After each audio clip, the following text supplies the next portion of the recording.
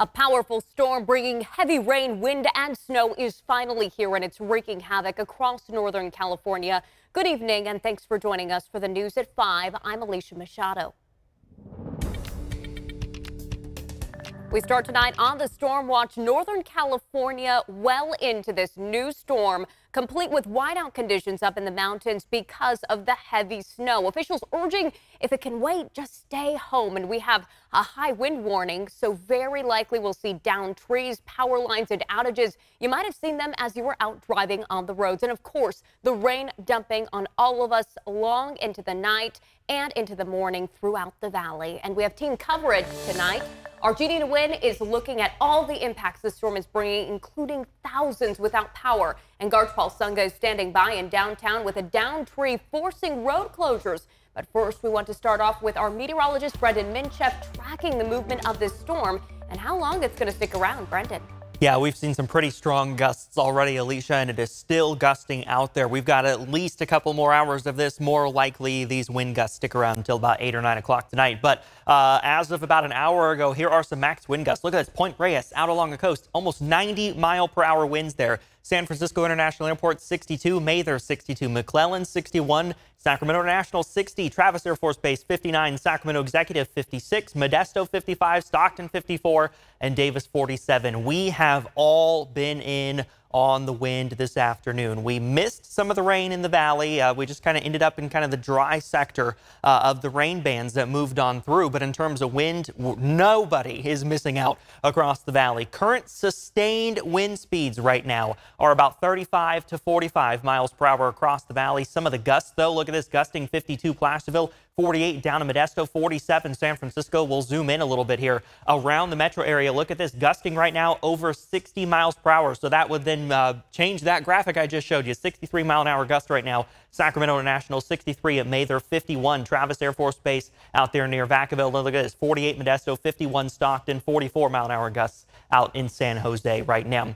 These gusts, uh, again, like I said, we've still got a little bit to go here. So by 6 o'clock, still seeing that 45 to 55 mile per hour gust uh, model data there, still continuing by about 7 o'clock. But by 8, we start to see it trend down just a little bit. 9 o'clock, closer to 40 instead of 50. And then between 9 o'clock and midnight is when we see those wind gusts drop closer to 30. We're going to stay gusty overnight, looking at 15 to 25 mile per hour wind gusts even through the morning commute tomorrow morning. So we still have a little ways to go with the wind, and we still got that high wind warning, still got a flood watch, winter weather, uh, winter weather advisories, winter storm warnings, a very active evening of weather. Uh, and I'll break it all down coming up a little later in the show, Alicia. All right, a lot going on. We'll check back in with you soon. Thank you, Brendan. And our team coverage on this storm continues now with our Jeannie Nguyen. She's live in Carmichael right now, where a tree came down onto a house and crushed a car. Jeannie, what are you seeing out there now?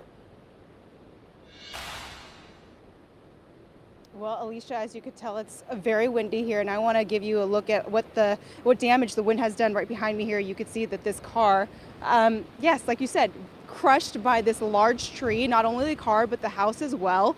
Um, you could see there's extensive damage there. And you know, this tree falling over here essentially a trickle effect because it looks like a water line has broken. So if you take a look down, Mario is going to pan over uh, to the street here. It essentially is a little lake.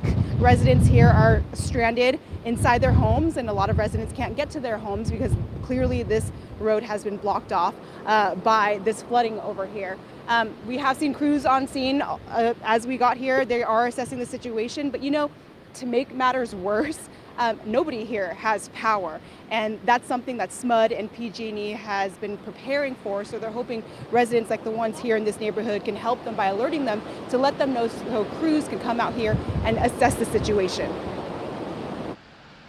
Improve myself and my health and my wellness this year. And so I've been making it a goal. And so that's what I'm doing out here this morning in the rain. The rain and wind cannot stop Aurelia Trujillo from putting her fitness as a priority this stormy Sunday. I just came out of cycle bar class, uh, spin cycling class. But with concerns of high wind, Trujillo says it's giving her flashbacks to last year's major storm that ended up causing a lot of damage in the Sacramento area. And we actually have a boat and an RV, so we're doing all we can to make sure those are secured and don't fly away and with the rain. Securing items at home is a tip PG&E encourages homeowners to do to minimize as much damage as possible when wind is a main concern. And make sure your patio furniture is either put away or secured. When we have high winds like this, we have seen um, stuff from the backyard flying into our power lines, even things as heavy as trampolines. And when it comes to trees, SMUD says it prepares year round to minimize the risk of fallen branches. We do vegetation management,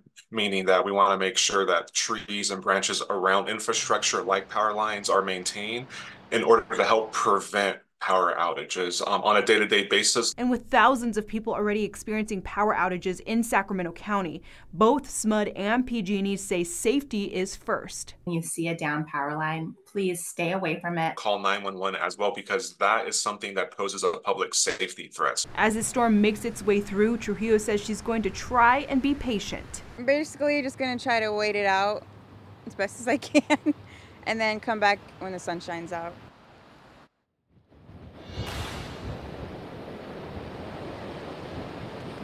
You know, uh, SMUD and PG&E are urging everybody at home to uh, keep updated by looking at their outage maps, and we have posted links to those on our website at abc10.com. Alicia, back to you.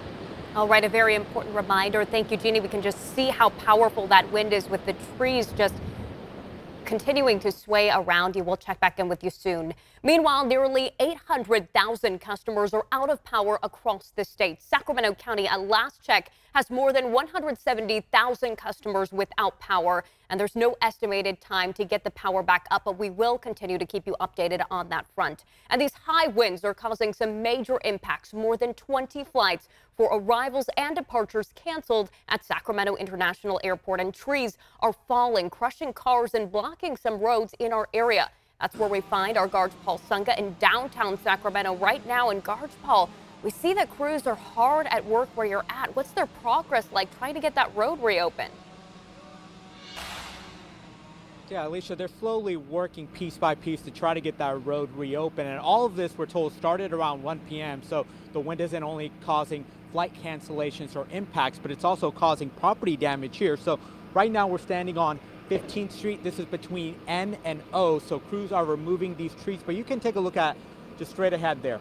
That damage, that's just one of three cars that we've counted that was damaged by a tree branch that came down around 1 p.m. when those winds gusts were very strong. So that that's a car that suffered the most damage. Uh, there's a few cars that have, have had windshield uh, damage, uh, front hood damage. So that's sort of what we're dealing with here in the Midtown area. So crews are trying their best uh, to remove uh, at least a good portion of this tree so it doesn't cause any more damage as crews are busy at work. So they've made a lot, a lot of progress over the past few hours and uh, this place actually looks much better than it did just a few hours ago but obviously for some people the damage that this storm has caused uh, just sort of eye-popping here so crews are still has N Street closed between, uh, 15th Street closed between N and O.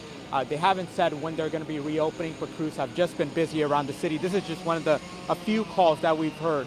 There's a lot of fallen tree branches elsewhere where crews have just sort of been overextended where they can't get to. So they're just going slowly by slowly as the winds have been causing a lot of problems uh, since we've been here. It's been about 40 to 50 miles per hour wind gusts, so it's been difficult for crews to work.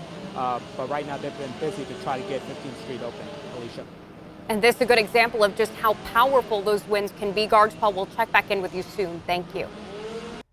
And remember, it's going to be an active weather weekend, so be sure to download the free ABC 10 app to stay informed about the wind, rain, and snow. We'll keep you up to date. Don't forget to turn on your notifications as well.